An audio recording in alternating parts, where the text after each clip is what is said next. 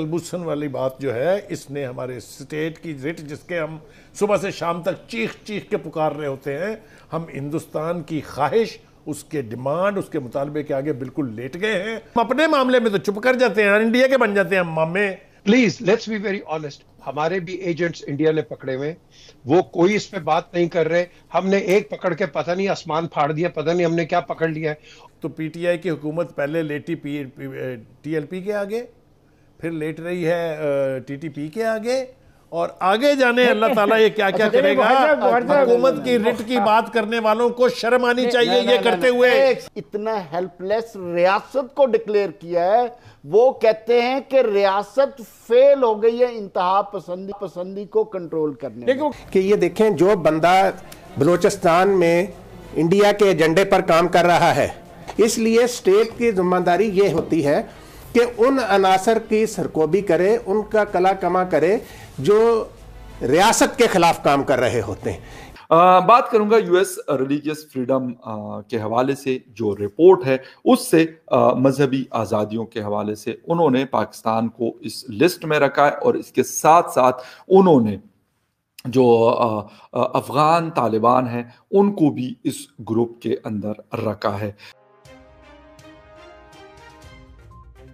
Hello friends अपना Hindustan news में आपका स्वागत है। इस वीडियो के अंदर पाकिस्तानी मीडिया बहुत गुस्से में और वो कह रही है कि हम हर मुद्दे के ऊपर दुनिया के सामने झुक जाते हैं। अब कुलभूषण यादव के मुद्दे पर ही देख लो हमने। हमने अपनी पार्लियामेंट में ये मुद्दा ला के बहुत बड़ी गलती कर दी है।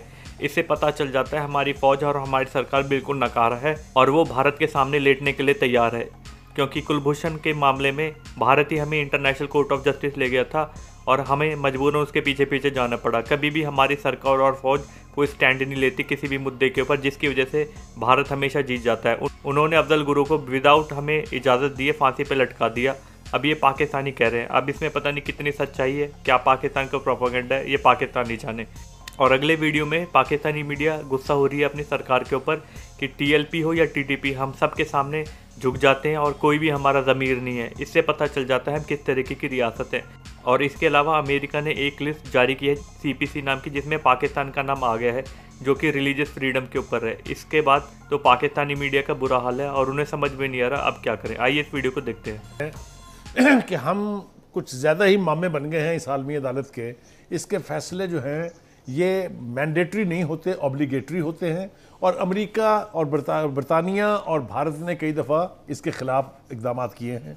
पहली बात तो यह है। दूसरी बात यह है कि उस वक्त ये अदालत इंसाफ कहाँ थी? जब अफजल गुरु को फांसी दी जा रही थी, जब यूनुस भट्ट को फांसी दी जा रही थी, क्या उस वक्त हमें ये हक हासिल नहीं था कि हम कहें उनसे कि इनको वापस भेजें बाइज्जत तौर पर? हम अपने मामले में तो चुप कर जाते हैं, इंडिया के बन जाते हैं हम मामे लेकिन उस वक्त आलमी अदालत सोई हुई थी क्या? अदालतें खुद ब खुद नहीं फैसला करती सुओ मोटो पावर लेके सुप्रीम कोर्ट ऑफ़ पाकिस्तान करती है। अच्छी तरह से याद है हमने यूनाइटेड नेशन में हमने हर फोरम पर कहा था कि इन्हें हमें हैंड ओवर करें ताकि हम अपनी इन्वेस्टिगेशन करके करें लेकिन उन्होंने इसको रिस्पॉन्ड भी नहीं किया और उनको फांसी लगा दी। इतना भी राइट नहीं दिया कि उनका ट्रायल फेयर हो जाए। एनी anyway, देखें दो बातें हैं। कलभूषण वाली बात जो है इसने हमारे स्टेट की रिट जिसके हम सुबह से शाम तक चीख चीख के पुकार रहे होते हैं हम हिंदुस्तान की ख्वाहिश उसके डिमांड उसके मुतालबे के आगे बिल्कुल लेट गए हैं और जिस शर्मनाक तरीके से ये कानून पास किया गया है अगर पीपल्स पार्टी की और नून लीग की हुकूमत होती इसी पीटीआई ने कहना था कि ये गद्दार वतन है ये मोदी के घर है और ये पता नहीं क्या क्या है इसके ऊपर पीजे पीजे साहब से भी मेरी दरखास्त है कि खुदा के लिए इसके ऊपर नेशनल अप्रोच हमें अडॉप्ट करनी पड़ेगी। Please let's be very honest हमारे भी एजेंट्स इंडिया ने पकड़े हुए वो कोई इस पे बात नहीं कर रहे। हमने एक पकड़ के पता नहीं आसमान फाड़ दिया पता नहीं हमने क्या पकड़ लिया है। और यार ये पकड़े जाते हैं। उनके भी पकड़े हमारे भी पकड़े जाते हैं। आपका सबसे बड़ा यहाँ CIA co operative Peshawar jail में जब शकील अफरीदी को तोड़ रहे थे, अमेरिका ने बात ही नहीं की सीआईए ने बात ही नहीं की। हम शोर करते रहे। देखें, बात सुने।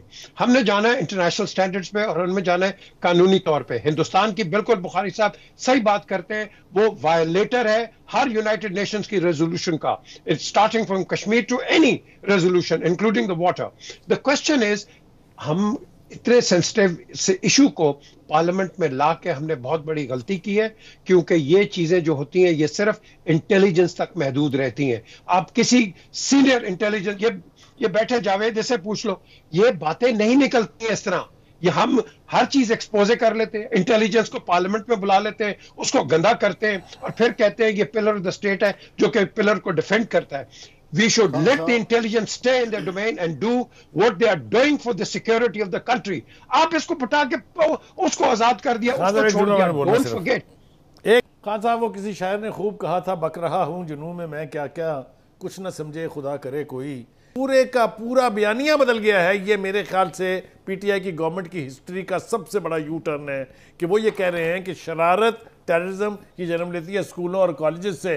फॉर गॉड सेक आप मुझे बताइए कि ये how can you expect this लेकिन अगर आप हकायक पर जाएँ तो पीटीआई की हुकूमत पहले लेटी पी टीएलपी के आगे फिर लेट रही है टीटीपी के आगे और आगे जाने अल्लाह ताला ये क्या क्या अच्छा, करेगा? हुकूमत की रिट की बात करने वालों को शर्म आनी चाहिए ये करते हुए। PJ PJ what you want to say PJ PJ कुछ कहना चाह रही पीजे मैं सिर्फ़ एक चीज़ कहना चाहता हूँ जितनी भी हॉलीवुड की पिक्चर्स बनी है वो मदरसा बेस्ड बनी है कोई स्कूल और कॉलेजेस में तो बनी कोई नहीं। जी जावेद वो तो प्रोपेगेंडा भी हो सकता है लेकिन खान साहब मेरा ऑब्जेक्शन कुछ और है। इससे ज़्यादा हेल्पलेस और कंफ्यूज्ड मैं नहीं देख सकता। किसको? फवाद चौधरी अच्छा, साहब को। पहले हमारे प्राइम मिनिस्टर हेल्पलेस थे माफिया के हाथों कि वो माफिया के हाथों जकड़ी हुई हमारी सोसाइटी और वो कुछ नहीं कर पा रहे थे। आज हमारे फवाद चौधरी साहब ने वज़ीर दाखिला हमारे। नहीं नहीं इंफॉर्मेशन मिनिस्टर इतना हेल्पलेस रियासत को डिक्लेयर किया है।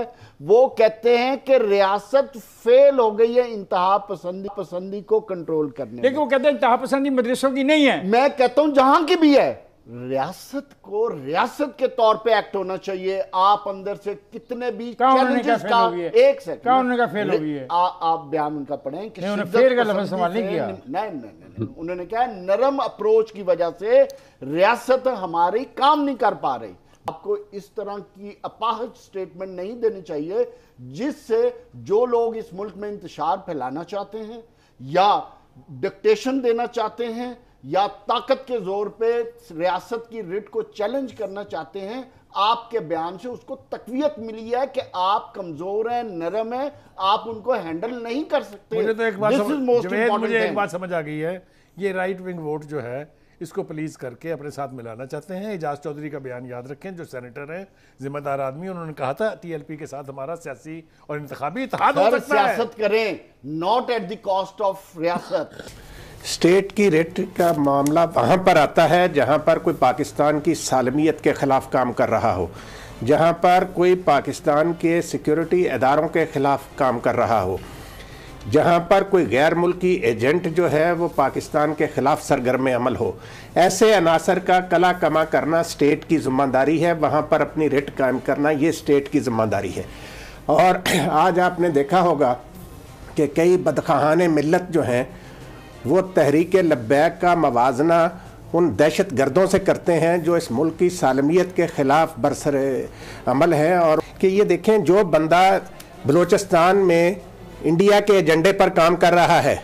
इसलिए स्टेट की ज़िम्मेदारी ये होती है कि उन अनासर की सरकोबी करे, उनका कला कमा करे, जो रियासत के खिलाफ काम कर रहे होते हैं। जहाँ तक ये पाकिस्तान बना ही इस्लाम के नाम पर है, आपने सही बताया कि पाकिस्तान का मतलब क्या? ला इलाहा इल्लल्लाह।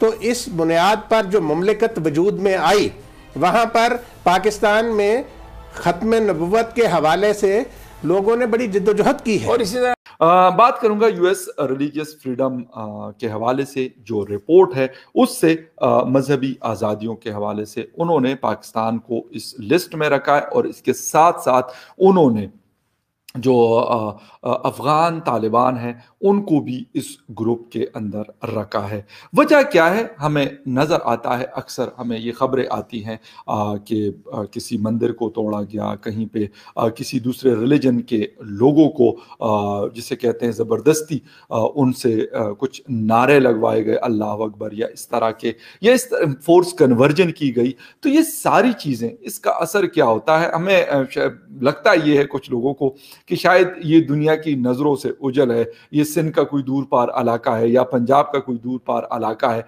हमने अगर कुछ किया तो इसका कोई असर नहीं है, बस ठीक है, हम वहाँ पे पावर में हैं तो हम जो करेंगे वो चलता रहेगा और हमें कोई पूछेगा नहीं। लेकिन दुनिया इसको नोटिस करती है, इसको देखती है।